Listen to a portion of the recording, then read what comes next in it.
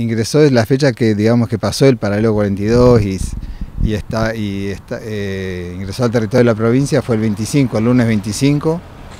Este, y bueno, entonces nosotros ahí estábamos eh, eh, colaborando con la provincia y sumados al operativo del lado de, Río Negro desde el primer día que empezó.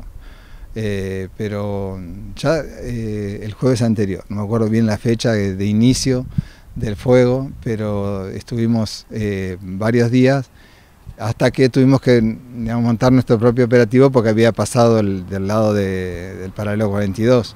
Y ahí el fuego, digamos, abarcó inicialmente 300 hectáreas y de ahí no se movió. Desde el día que, ingresó, lunes 25, eh, eh, se, montó el operativo con una cantidad importante de recursos, después fueron digamos, este, relevándose, eh, se mantiene ahí el operativo, está estabilizado, no hay propagación, ya llevamos 10 días, hoy es 5, aproximadamente 10 días de trabajo ahí y todo el trabajo se, se está enfocado al acceso, de, porque es una zona muy de montaña, con algunos este, lugares para poder eh, enfriar y controlar distantes, bastante distantes para llegar. Hay que, ahora, por ejemplo, están con un trabajo con topadora para llegar a los puntos más, más lejanos.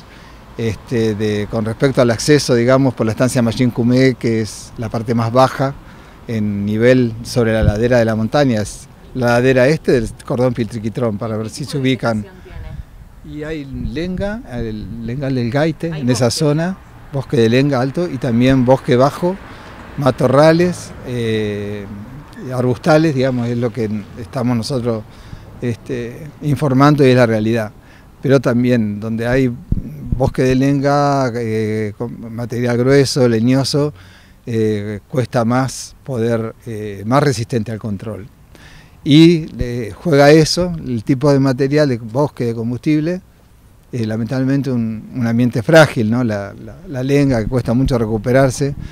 Eh, pero bueno, ahí está, en esa, en esa superficie, esa cuestión de que es bosque grueso, leñoso y el acceso a, lugares que se los va inicialmente eh, se, fue conteniendo y enfriando y, digamos deteniendo el avance en todo el sector que tenía más eh, actividad, pero quedaron puntos distantes que son los que ahora estamos poniendo el esfuerzo para, para controlar. ¿no? ¿Es contenido perimetrado? ¿Cuál sería la definición actual? Lo damos activo.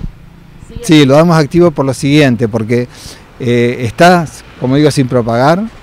Uno podría hablar de contención, pero no nos jugamos porque tenemos muy cerca del, de la, por decirte, eh, en el orden de los 100, 200, 300 metros, eh, sectores que no están quemados y que tienen una tremenda actividad por momentos, generan columnas que es una forma de propagación por encima de, digamos, del perímetro que está frío, eh, sin todavía, por eso digo, no, no nos vamos a dar este, ni contención ni control porque hay columnas con estas eh, temperaturas, eh, se genera inestabilidad, se generan columnas en altura y estamos ahí ahora en el trabajo dentro de ese perímetro que abarcó de 300 hectáreas en islas que este, por momentos eh, tienen una actividad muy importante.